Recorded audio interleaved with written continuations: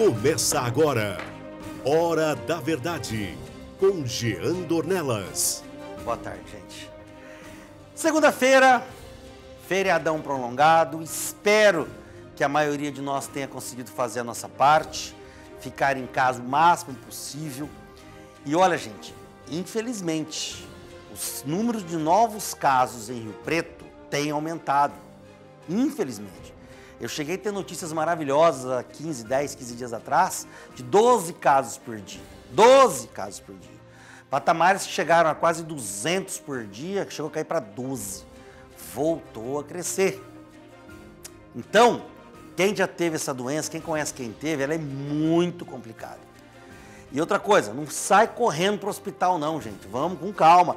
Tá com sintomas, se isola, Lembra aquela entrevista com o Dr. Felipe Fornari aqui, que explicou bem, são medicamentos normais para conter os sintomas normais de uma gripe forte. Então, gente, não sai correndo para o hospital qualquer tosse. Se trate, fique em casa e se isole, tá bom? Uma semana maravilhosa para todo mundo. Vamos todos torcer e orar para que essa doença show, show, vá embora, tá? Bem, agora eu quero atender aqui, gente, o Fábio Rogério Tavares Põe o WhatsApp do povo aí, que esse é o WhatsApp que funciona, onde você manda sua dúvida, sugestão, desce o pau, tá? E nós vamos atrás. Nós temos a Soprocon, que tem, que faz a coisa acontecer, né? Não adianta só estar tá aqui e mostrar problema. Porque mostrar problema da população, qualquer canal mostra. Qualquer canal mostra. Eu quero ver é correr atrás da solução. Aí é fazer diferente. Aí é só aqui no SBT, na Hora da Verdade. E o Fábio Rogério Tavares, Jardim Ipanema ou Itapema, hein? É, é, colocaram Ipanema aqui, mas eu sou Zona Norte de carteirinha, eu acho que é Itapema. Daqui de Rio Preto, ele é aposentado. Isso é uma gravação feita lá no início de março, tá? Vamos lá ver o que está acontecendo com ele. Vamos ajudar ele. Essa semana recebi uma ligação de uma empresa e estão cobrando uma dívida minha de 95.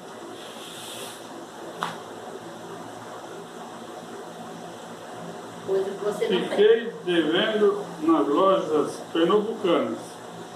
Depois de cinco anos caducou. Mas agora eles estão ligando no telefone fixo, me cobrando essa dívida depois de 25 anos. A firma de, a firma de cobrança é daqui de Rio Preto. Essa mesma, mesma empresa está cobrando também uma outra dívida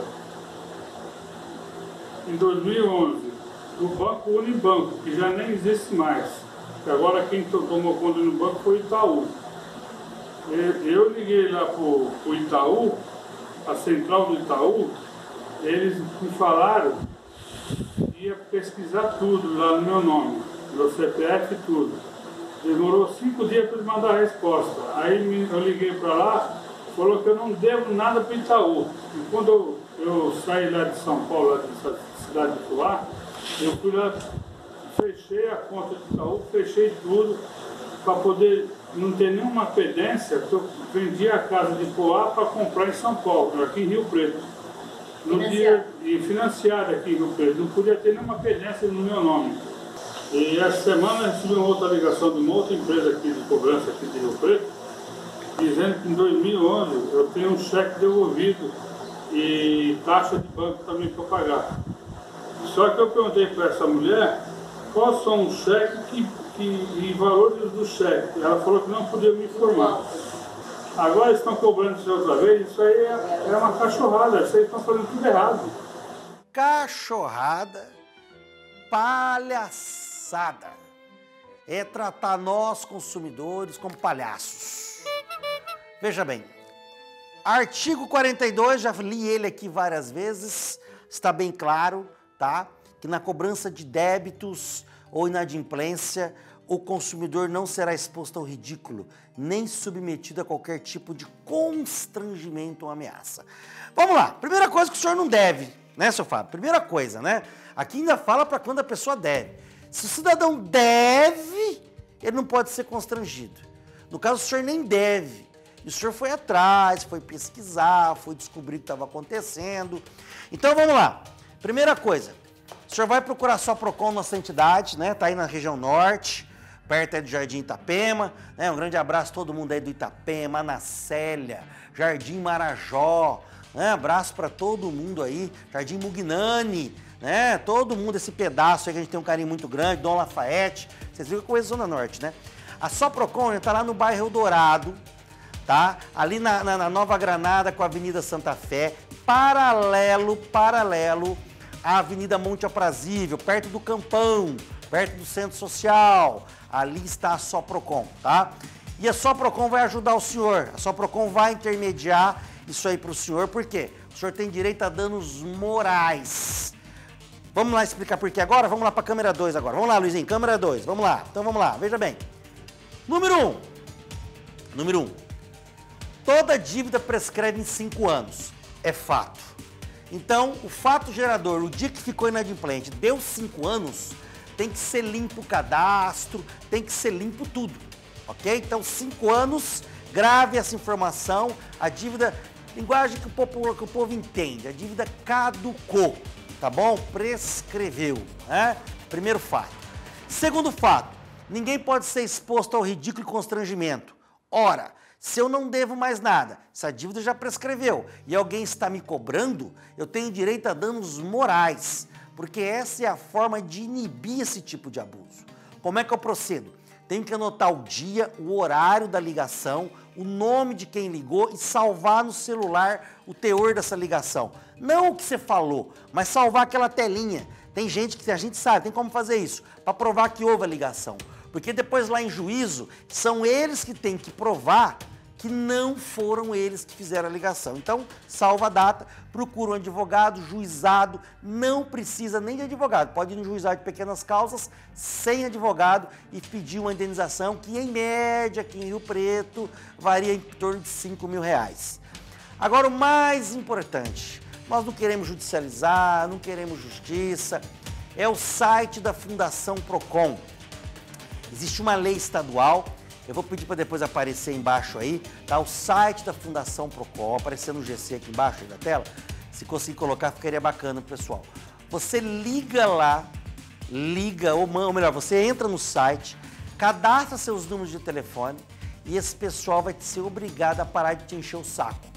Se te ligar, mesmo estando cadastrado, aí é mais danos morais. Então, seu Fabiano, fica tranquilo, não sai pagando e para finalizar, cuidado, viu gente? Cuidado, tem muito golpe. Golpe. Não saia depositando dinheiro em contas para quitar dívidas sem antes ter orientação de um advogado, do Procon ou da só Procon. Gravem isso, tá? Cuidado, a pessoa te liga, fica sabendo que você tem a dívida por vários motivos, pelo Serasa, SPC, os golpistas te ligam e dizem assim para você: "Olha, você está devendo lá 5 mil cruzeiro. Você deposita mil cruzeiro aqui, que vai quitar tudo, ou 500 cruzeiros. Você vai lá e pá, deposita. Eles geram o boleto. Não faça isso sem ter uma assessoria, uma anuência da sua Procon do Procon do advogado, tá bom? E vamos ver agora, agora vamos lá para Santa Fé do Sul, linda Santa Fé do Sul. Vamos ver o que, que o Felipe manda de pergunta para nós.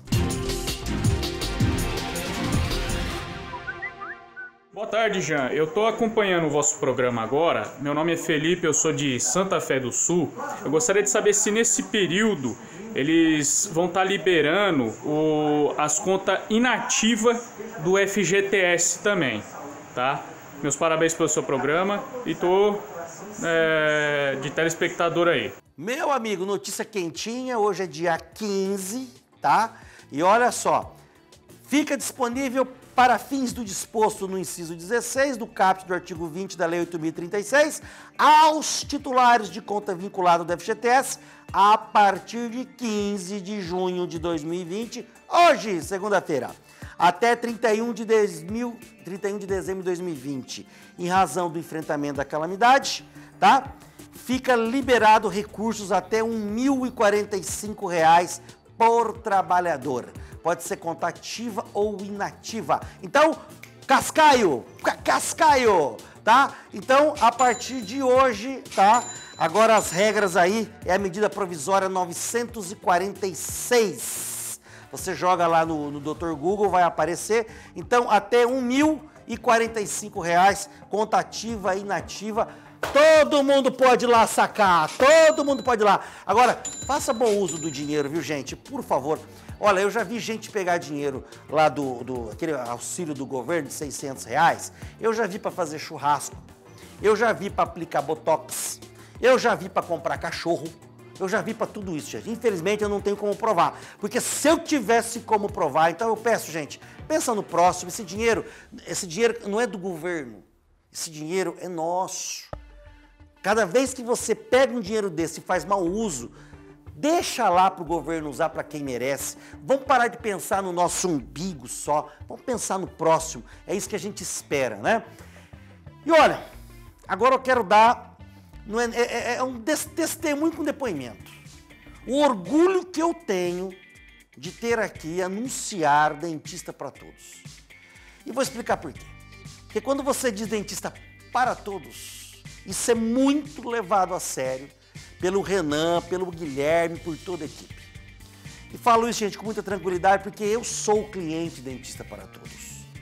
E eu sei que é uma das maiores clínicas da região, tem um atendimento de primeiríssima, dicas de passagem, o atendimento está normal, porque é serviço essencial. São 11 salas, 11 consultórios, todos com todos os cuidados já normais e tradicionais, mas agora acrescidos com aqueles da pandemia. E agora eu vou falar o diferencial, gente. São vários. Primeiro, o carinho que a gente é tratado. Como são profissionais com muita experiência, a, a, a tal da dor de ir num dentista, você não percebe, porque eles têm muita prática, têm experiência, sabem resolver o seu problema da melhor maneira. E o segundo ponto, que esse muito me orgulha, é o preço é totalmente diferenciado. Como eles têm grande volume, grande experiência, não ficam apanhando para resolver o seu problema, o custo é bem mais baixo totalmente acessível. Você pode sentar lá no balcãozinho lá, combinar, olha, como é que eu posso pagar, tá? E tem tudo. Tem a chapa do dente, né? Aquela antiga chapa, né? Faz tudo ali, radiografia, tem o protético, coisa linda, tá bom? Então, olha, vai conhecer Dentista para Todos no Centrão de Rio Preto, pertinho da rodoviária, um espaço lindo e maravilhoso. Desceu na rodoviária lá, começou a subir ali a Bernardino, você já vai ver lá aquele baita espaço. Um beijo para toda a equipe Dentista para Todos. Está aí o endereço, está aí o telefone para você marcar e agendar, tá bom? E você vai topar comigo na recepção lá que eu estou arrumando isso aqui tudo aqui. Vamos para o nosso intervalo? Vai e volta, é rapidão.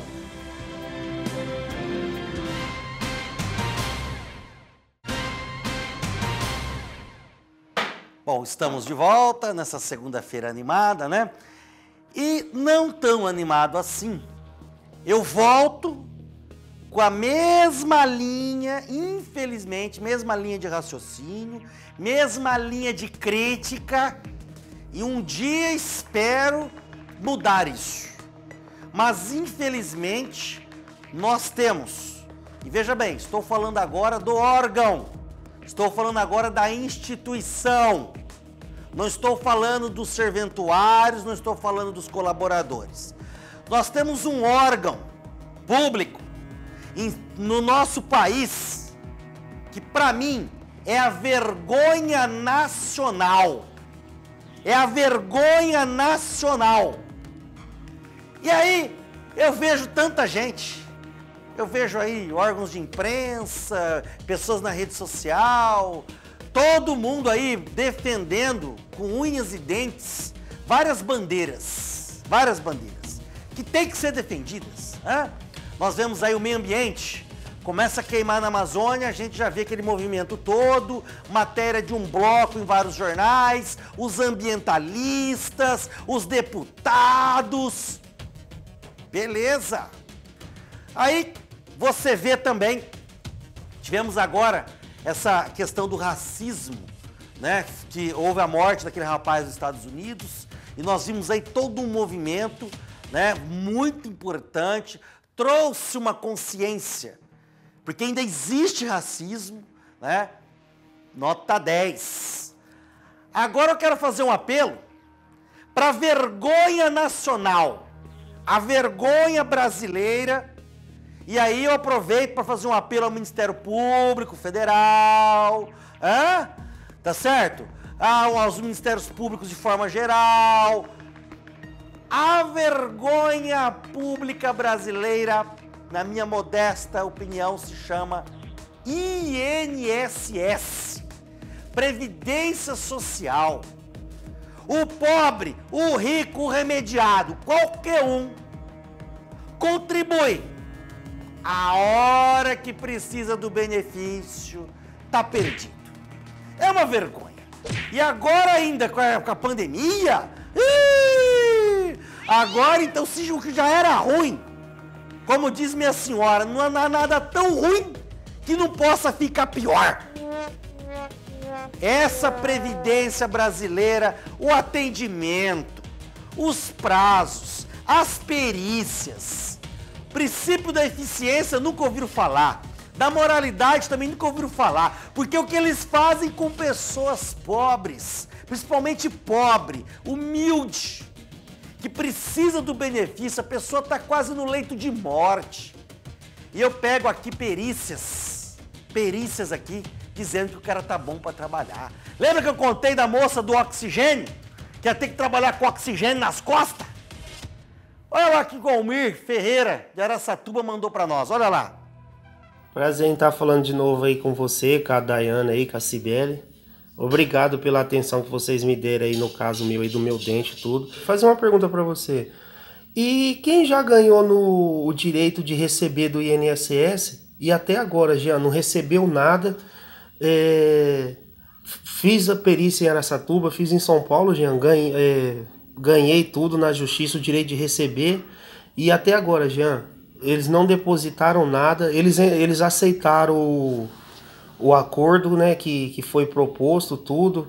Já passou pelo, pelo contador do INSS, eles aceitou o valor, tudo. Só que é o seguinte, Jean, até agora nada, não deposita nenhum din dinheiro nenhum. Eu queria saber, Jean, o que, que vocês podem estar tá informando para a gente desde 2016 sem pagamento, Jean, do INSS. E outro, e agora eles falando que vai liberar esses 600 reais. Se eles não pagam nem o que deve, será que eles vão liberar esse dinheiro, Jean? Ô, Jean, muito obrigado, hein? Parabéns aí pelo programa aí. Você, a Cibele aí, a Dai, tá? Fica todo mundo aí com Deus aí. Obrigado. Obrigado, Almir. O negócio é o seguinte: quando a cobrança vem, quando o empresário precisa pagar a previdência social, a cobrança vem bem rápida. Se ele não pagar no dia, a cobrança vai vir mais rápida ainda. Agora, quando o pobre trabalhador precisa do benefício Ai, é câmera lenta. Mas não aqui. É brincadeira isso. Pau que bate em Chico tinha que bater em Francisco. É? Então veja bem, na hora de cobrar, o empresário recebe a cobrança rapidão. Procuradoria, honorários advocatícios a hora que o trabalhador precisa, é isso aí. Mas veja bem, eu, para não estressar, eu chamei aqui o nosso especialista, sempre competente. Isso aqui não é puxar saco, não. Isso aqui não é jogar firula, não, porque quem sabe mostra, né? E a gente tem recebido sempre aqui vários colegas advogados, mas em especial a gente tem um carinho muito grande com o doutor Naim Custódio, né? Doutora Neuza Custódio, a mãe dele também. É um advogado especialista de previdenciário que tem muitos, muitos casos e ele está comigo aqui para a gente conversar, né, por, por vídeo, né, não dá para conversar pessoalmente, como é que está, né, a nossa previdência social e esse ritmo de tartaruga. Boa tarde, doutor Naim, como é que está? Tudo bem? Boa tarde, tudo bem, Jean? Doutor Naim, me diga uma coisa, é, pós, pós não, durante a pandemia, como é que está a realidade dos processos administrativos do INSS, como é que as pessoas estão podendo dar entrada nesses pedidos, como é que está sendo essa resposta. Qual é a situação hoje nesse efeito de pandemia que estamos agora no meio do mês de junho de 2020? É, devido à, pandemia, como o INSS está fechado para atendimento presencial, né, todos os processos agora é, são de formas unicamente digitais. É, só que temos o problema que a população, muitas delas ainda não tem esse acesso à, à, à tecnologia para poder é, dar o andamento do seu processo. Então, é, acaba a, a, pessoa ficando sem saber o que fazer para poder entrar no seu benefício. O INSS, sim, está se é, é, tentando se adequar para poder dar o, o, acesso mais rápido para as pessoas, mas, infelizmente, está tá lento ainda. Doutor, e é, é, um, é, um, site, doutor Naim? É um site ou é um aplicativo que tem da Previdência para dar entrada no benefício de aposentadoria? Existe os dois. Existe o site Meu INSS, existe o aplicativo também do Meu INSS e também é, pode ser feito através do telefone 135 do INSS. Bom, eu tenho mais uma pergunta aqui também de um telespectador. É, o André de Presidente Prudente, tem como colocar aí na tela? Tem como colocar aí, produção? Tá, então, então tá. Então tá, olha só, o André de Presidente Prudente ele está perguntando para nós o seguinte: como é que está funcionando o agendamento da perícia judicial? Aí eu já emendo, doutor Naim, e já responde para nós. E a administrativa, né, quando o processo está em andamento? Como é que está sendo a administrativa e como é que está sendo o procedimento na judicial? Já mata os dois para nós, por gentileza. Vamos lá. Na judicial estão todas paralisadas. Todos os nossos processos que tinham é, é perícias judiciais foram é, canceladas e reagendadas. É, como a, a justiça ainda está fechada, eles estão reagendando para alguns meses para frente. Administrativo não está tendo a perícia presencial, porém eles estão fazendo através simplesmente dos laudos médicos, novamente pela internet ou via aplicativo. Então a pessoa tem que agendar a sua perícia na internet, anexar os laudos médicos nesse agendamento, o perito vai analisar os laudos e conceder ou não a perícia a, através desses laudos. Uma coisa, né? E quando é só com o laudo agora, o índice de aprovação das perícias continua sendo aquela barbaridade que nós, que eu critico, já critiquei, várias vezes, os, os, próprios peritos da Previdência, continuam naquele ritmo, todo mundo está bom para trabalhar, sem perna, sem braço, é, ou realmente estão seguindo o que o colega médico atesta, né? deu uma melhorada ou está naquele mesmo ritmo? Olha, o que, o que nós temos visto é que deu uma melhorada. É, eles estão concedendo mais, porém somente por 30 dias, independente do período que consta de afastamento no laudo, eles estão concedendo apenas por 30 dias e depois a pessoa, antes de, vencer, 15 dias antes, tem que ir lá e fazer uma, um pedido de prorrogação dessa perícia. Para finalizar, meu querido Naim, é, existe alguma perspectiva do retorno da Previdência? Porque é, é, falar com Deus a gente ajoelha a hora e fala, mas falar com a assessoria de, de comunicação da Previdência Social Brasileira, esquece. Né? Então vamos aos profissionais que estão lá no dia a dia. Vocês têm alguma notícia de quando vai retornar, alguma possibilidade? Se não houver uma nova prorrogação, que já houve várias, né? Está previsto para voltar dia 19 do 6. Junho. É, acho difícil aí pelos casos. Doutor Naim, muito obrigado, uma boa semana e mais uma vez muito esclarecedor, tá bom? Obrigado, Naim. Eu que agradeço. Bom, veja bem, gente, não dá para pôr mais nada, mais nada, mais nada, mais nada. Tinha uns casos resolvidos aí, produção. Não dá para colocar? É, então vocês entenderam? Minha bronca com, com, as perícias parece que deu uma boa melhorada. E só para acrescentar informação, é, os fóruns, sejam federais, estaduais, o Conselho Nacional de Justiça prorrogou o impedimento de trânsito de pessoas, a permanência no local até 30 de junho. Portanto, se você se aguardava para ir no fórum tirar cópia de um processo, aguardava uma perícia judicial com o perito da justiça. Está tudo prorrogado até 30 de junho. Tem que encerrar mesmo, produção?